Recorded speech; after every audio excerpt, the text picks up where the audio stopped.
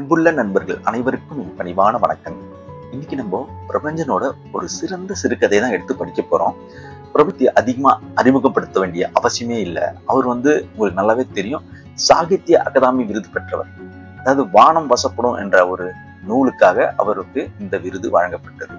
இன்னைக்கு நம்ம வாசிக்க போற சிறுகதையான மரி என்கிற ஆட்டுக்குட்டி கூட பாத்தீங்கன்னா நம்ம எஸ் ராமகிருஷ்ணன் அவர்கள் நூறு சிறந்த சிறுகதையை தேர்ந்தெடுத்ததுல இந்த கதையும் ஒண்ணு அப்படின்றத நீங்க தெரிஞ்சுக்கலாம். இப்போ இந்த கதையை வாசிக்கலாம் வாங்க. தமிழ் சார் அந்த அற்புத மரிக்கு டிசி கொடுத்து அனுப்பிடலாம்னு யோசிக்கிறேன் என்றார் எச்சம் எந்த அற்புத மரி என்றேன் நான்? ஆமா அந்த ஸ்கூல்ல அப்படியே தொள்ளாயிரத்தி தொண்ணூத்தி எட்டு அற்புத மாதிரி இருக்காங்களாம். எந்த அற்புதம் மாதிரிங்கிறீங்க அதான் அந்த பத்தாம் வகுப்பு படிக்குத அந்த மாதிரி. தினத்தாளை மடித்து வைத்துவிட்டு அந்த அற்புத மரியின் முகத்தை மனசுக்கு கொண்டு வர முயற்சித்தேன். வந்துவிட்டான். எப்போதும் சுயங்கம் மெல்லுகிற அப்படி மெல்வதன் மூலமாக இந்த பள்ளிக்கூடம் அதன் ஆசிரியர்கள் மாணவர்கள் மாணவிகள் சட்டத்திட்டங்கள் ஒழுங்கு விதிகள் எல்லாவற்றையும் அலட்சியப்படுத்துகிற நான் உங்களை எல்லாம் ஒரு பொருட்டாகவே நினைக்கிறதில்லை. நீங்கெல்லாம் எனக்கு ஃபு என்கிற முகபாவமும் திமிர்த்தனமும் கொண்ட ஒரு சண்டைக்கார மாணவி ஒரு சண்டைக்கார மாணவி என் நினைவுக்கு வந்தாள் எனக்கு அவள் மாணவிதான் என்னத்துக்கு சார் டிசி என்னத்துக்கா? நீ இந்த உலகத்தில் தான் இருக்கீரா? அவ உன் ஸ்டூடெண்ட் தானையா? ஆமா அப்பப்ப இஷ்டப்பட்டால் ஏதோ எனக்கு தயவு பண்ணுகிற மாதிரி கிளாஸுக்கு வரும் போகும். ம் நீரே சொல்லுகிறீர் பாரும் என்று சொல்லிவிட்டு இரண்டால் சேர்த்து தூக்க வேண்டிய வருகை பதிவு ரெஜிஸ்டரையும் இன்னும் இரண்டு மூன்று ஃபைலையும் தூக்கி என் முன் போட்டார். பாரு நீயே பாரு போன ஆறு மாசம் காலத்துல எண்ணி பன்னிரெண்டே நாள் தான் ஸ்கூலுக்கு வந்திருக்கா. வீட்டுக்கும் மாசம் ஒரு கடிதம் எழுதி போட்டு கொண்டு தான் இருக்கேன். ஒரு பூச்சி புழு இப்படி எட்டி பார்த்து அந்த கடிதாசி போட்ட கம்நாட்டி யாருன்னு கேட்டுச்சா? சரிதான் போடா நீயும் ஆச்சு உன் கடிதாசியும் ஆச்சுன்னு இருக்கா அவள். சரி சரி ஏதாச்சும் மெடிக்கல் சர்டிஃபிகேட் கேட்டு வாங்கி சேர்த்துக்கலாம்னா வந்தா சி- தேவலாம். நம்ம டிஓ மாதிரியில ஸ்கூலுக்கு இஷ்டப்பட்டால் வராள். வந்தா வந்தாலும் ஸ்டூடெண்ட் மாதிரியா வர்றா? சாச்சா என் வாயால அது எப்படி சொல்றது? ஒரு பிரெஞ்சு சைக்கிள்ல கண்ணுக்குட்டி மேல உட்கார்ந்து வர்ற மாதிரி பேண்ட் போட்டு கொண்டு வர்றாள். பேண்ட்னா என்ன மாதிரி பேண்ட்டுங்கிறீரு அப்படியே சிக்குன்னு பிடிச்சுக்கிட்டு போட்டோக்கு சட்டம் போட்ட மாதிரி அது பட்டு பட்டுன்னு தெரிச்சிடுவோம்னு நமக்கெல்லாம் பீதியை ஏற்படுத்துற மாதிரி ட்ரெஸ் பண்ணிட்டு வராள் சட்டை போடுறாள் மேல என்னத்துக்கான இரண்டு பட்டனை அவுத்து விட்டுட்டு ஏறது அது மேல சியான் பாம்பு மாதிரி ஒரு செயின் காத்தாடி வால் மாதிரி அது அங்கிட்டும் இங்கிட்டும் வளைஞ்சி வளைஞ்சி ஆடுறது.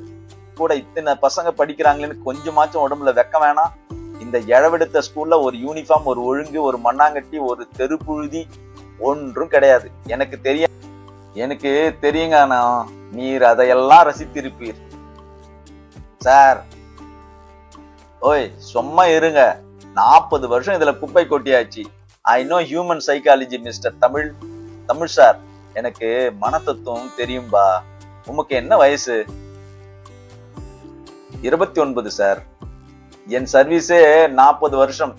பேண்ட் சட்டை போடக்கூடாதுன்னு விதி ஒன்றும் நம்ம ஸ்கூல்ல இல்லையே சார் அதுக்காக அவுத்து போட்டுட்டு போகலாம்னு விதி இருக்கா என்ன? வயசு பதினெட்டு ஆகுதுங்க அவளுக்கு. கோட்டடிச்சு கோட்டடிச்சு இப்பதான் டென்த்துக்கு வந்திருக்காள். எங்க காலத்துல பதினெட்டு வயசுல இடுப்புல ஒண்ணு தோல்ல ஒண்ணு இருக்கும். போதாத குறைக்கு மாங்காயை கடிச்சுக்கிட்டு இருப்பாளுங்க.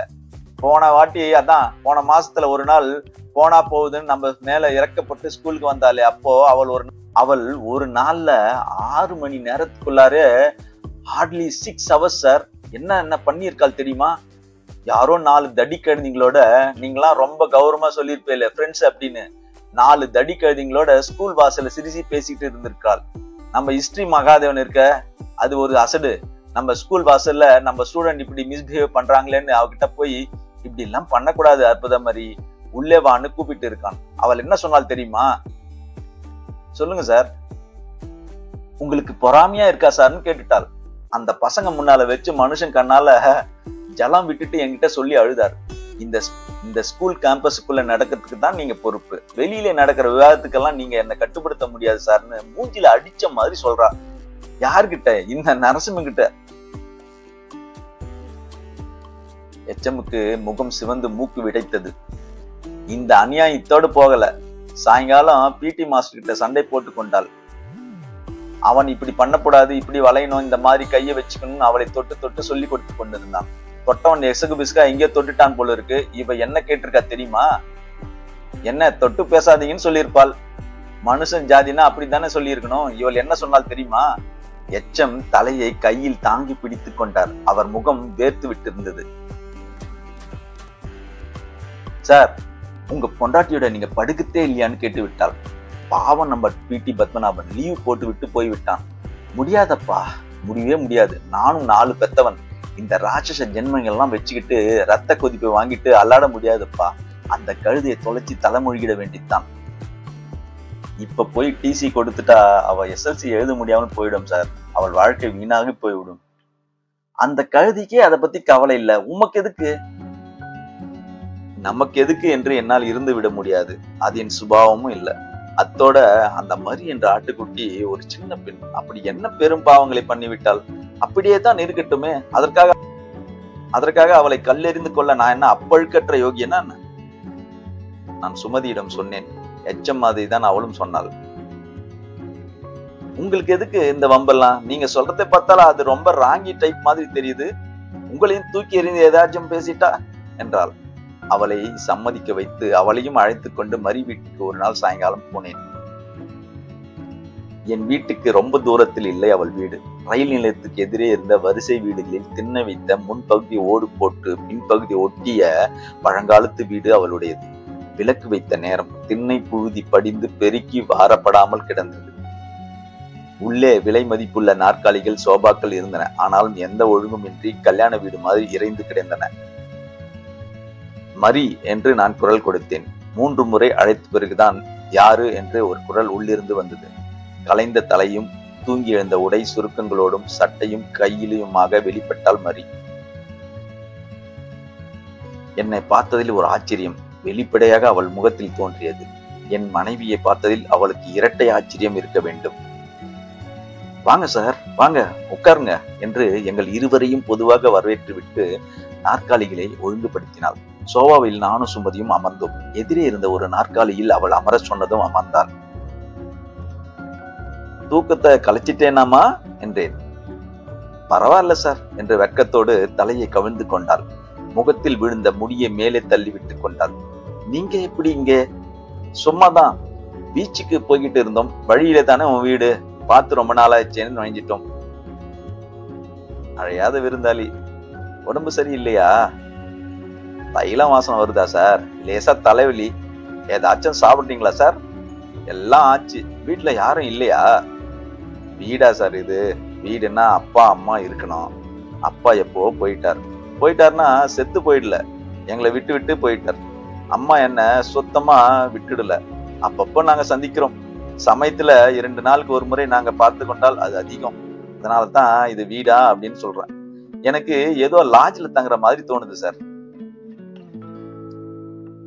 எனக்கு சங்கடமா இருந்தது. இரவுகளில் நசுங்கிய அலுமினிய பாத்திரத்தை எடுத்துக்கொண்டு பிச்சைக்கு வருகிற குழந்தையை பார்ப்பது போல் இருந்தது. சாப்பாடுலாம் எப்படி அம்மா பெரும்பாலும் பசி எடுக்கிறப்போ எங்க தோணுதோ அங்க சாப்பிடுவேன். ஹோட்டல்ல தான். அம்மா வீட்டுல தங்கியிருந்தா ஏதாவது செய்வாங்க. அம்மா சமையலை காட்டிலும் ஹோட்டலே தேவலை. நல்லா இருக்காதுன்னு சொல்லல. அம்மான்னு நினைச்சு சாப்பிட முடியல. பொண்ணுன்னு நினைச்சு அவங்களும் பண்ணல. சுமதி என்னை முந்திக் கொண்டு கேட்டாள். உன் அம்மா தானே அவங்க? ஆமாங்க. இப்ப வேற ஒருத்தரோட அவங்க இருக்காங்க. அவரை எனக்கு பிடிக்கல. என்னையும் அவருக்கு பிடிக்கல. சரி அவங்க வாழ்க்கையை அவங்க வாழுறாங்க. என் வாழ்க்கையை நான் வாழ்ந்து கொண்டு இருக்கிறேன். ஒரு இறுக்கமான மௌனம் எங்கள் மேல் கவிழ்ந்தது. நான் சாவி கொடுக்காமல் எப்போதோ நின்று போயிருந்த கடிகாரத்தை பார்த்து கொண்டிருந்தேன். மரி ஸ்கூலுக்கு வந்தா ஒரு மாறுதலா இருக்கும்ல? நான் யாருக்காக சார் படிக்கணும்? உனக்காக? என்றாள் அவள். இதற்கு மேல் எதுவும் பேசக்கூடாது என்று எனக்கு தோணியது. பீச்சுக்கு போகலாம் வாயே வரட்டுமா சார்? என்று ஆச்சரியத்துடன் கேட்டாள். வா இதோ வந்து விட்டேன் சார் என்று துள்ளி கொண்டு எழுந்தால் உள்ளே ஓடினாள். நான் சுமதியை பார்த்தேன். பாவங்க என்றாள் சுமதி. யாருதான் பாவம் இல்லை. இந்த பெண்ணை விட்டுட்டு எங்கேயோ இருக்கிற அந்த அம்மா பாவம் இல்லையா? இத்தோட அப்பா பாவம் இல்லையா? எல்லோருமே ஒரு விதத்துல பாவம் தான் என்றேன் நான் அப்போதுதான் பூத்த ஒரு பூ மாதிரி மழையில் நனைந்த சாலை ஓரத்த மரம் மாதிரி ஓட்டை குழாங்கள் மாதிரி வெளிப்பட்டால் மறி பேண்ட் தான் போட்டிருந்தாள். சட்டையை டக் பண்ணியிருந்தால் அழகாகவே இருந்தது அந்த உடை. உடம்புக்கு சௌகரியமானதும் பொருத்தமானதும் தானே உடை. ஸ்மார்ட் என்றேன். தேங்க்யூ சார் என்றால் பரவசமான சிரிப்பில்.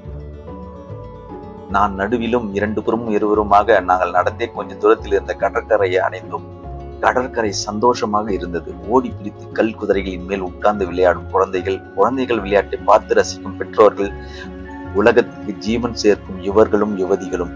கடலைகள் கடல் மணலில் சுகமாக வேறுபட்டன குழந்தைகள் வாழ்வில் புதிய வர்ணங்களை சேர்த்து பலூன்கள் பறந்தன. ஸ்டூல் போட்டு பட்டாணி சுண்டல் விற்கும் ஐயரிடம் வாங்கி சாப்பிட்டோம்.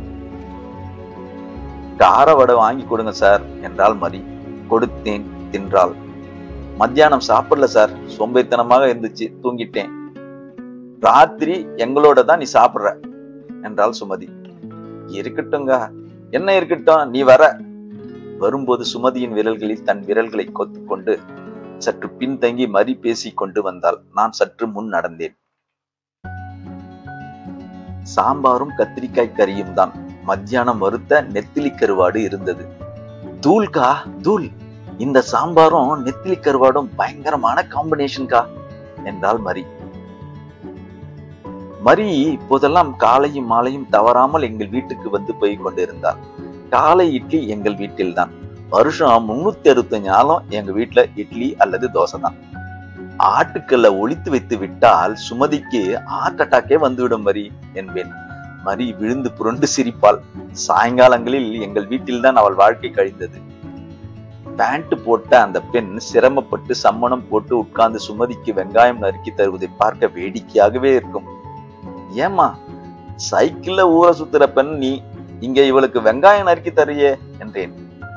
இதுதான் சார் த்ரில்லிங்கா இருக்கு. கண்ணுல நீர் சுரக்க சுரக்க வெங்காயம் நறுக்கிறது பயங்கரமான எக்ஸ்பீரியன்ஸ் என்றால் ஐயோ இந்த பயங்கரமே. சார் ஒன்னு சொல்லட்டுமா? ஓ ரெண்டு மூணு கூட சொல்லு. சீரியஸா கேட்கிறேன் சார்.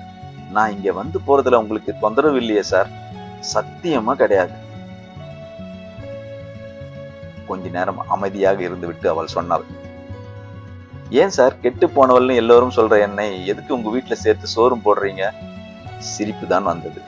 பைத்தியமே உலகத்துல யார் தான் கெட்டு போனவங்க யாராலுமே கெட முடியாது தெரியுமா? மனசுக்குள்ள நீ கெட்டு போனவள்னு நினைக்கிறியாக்கும் அதை விட்டுடு. நீயும் கெட்டவள் இல்லை உங்க அம்மாவும் அப்பாவும் யாருமே இங்க கெட்டவங்க இல்லை. அவள் சொன்னால் எங்க அம்மாவை பழி தீர்க்கணும் தான் அப்படிலாம் நந்துக்கிறேன் சார். எனக்கு தெரியும் என்றேன் பத்து நாள் இருக்குமோ? இருக்கும். ஒரு நாள் மரி என்னிடம் கேட்டாள் சார் நான் ஸ்கூலுக்கு வர்றதே இல்லைன்னு நீங்க ஏன் கேட்கவே இல்லை? நான் அவன் முகத்தை பார்த்தேன். இரண்டு மணிகள் உருண்டு விழ தயாரா இருந்தன அவள் கண்களில். என்ன நீங்க கேட்டிருக்கணும் சார். ஏன்டி ஸ்கூலுக்கு வரலன்னு என்ன அரைஞ்சு கேட்டிருக்கணும் சார். என்ன கேட்க ஆள் இல்லைன்னு தான் நான் இப்படி இருக்கேன். என் மேல இப்படி யாரும் அன்பு செலுத்தினது இல்லை சார். அன்பு செலுத்துறவங்களுக்கு தானே அதட்டி கேட்கும் அதிகாரம் இருக்கு. உனக்கே அது தோணும் தான் நான் காத்திருந்தேன். அதனால் என்ன? ஒன்றும் மூழ்கி போய்விடவில்லை. இன்னைக்கு புதுசா ஆரம்பிப்போம். இன்னைக்கு தான் டென்த் கிளாஸ்ல நீ சேர்ந்ததுன்னு வச்சுக்கோ. நாளையிலிருந்து நம்ம ஸ்கூலுக்கு போறோம் என்றேன். மரி முகத்தை மூடிக்கொண்டு மரி முகத்தை மூடிக்கொண்டு விசும்பி விசும்பி அழுதாள். இப்படிதாங்க கதையை முடிக்கிறார். இந்த வீடியோ பதிவு உங்களுக்கு பிடிச்சிருந்ததுன்னா லைக் பண்ணுங்க. உங்கள் ஃப்ரெண்ட்ஸ் ஃபேமிலிக்கெல்லாம் ஷேர் பண்ணுங்க. கூடவே பெல் நோட்டிஃபிகேஷன் தட்டி விடுங்க. அப்போதான் நான் அடுத்தடுத்து போடுற வீடியோ உங்களுக்கு வந்து சேரும். நன்றி வணக்கம்.